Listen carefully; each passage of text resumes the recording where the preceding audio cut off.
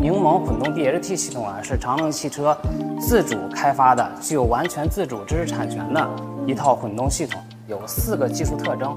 快、顺、静、省。柠檬混动 DHT 的核心零部件，目前已经搭载在了我们非常智能化，而且续航里程非常长的魏牌咖啡系列的车型上，现在已经上市销售了。然后八月二十二号呢，哈弗品牌也发布了它的新能源战略，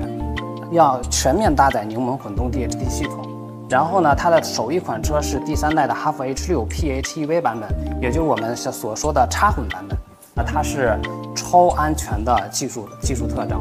然后现在已经可以接受预定了，它能够实现纯电模式、直驱模式，还有增程模式、混联模式等等九个工况模式，可以根据不同的驾驶场景去智能的切换工作模式。所以这辆车你怎么开怎么省。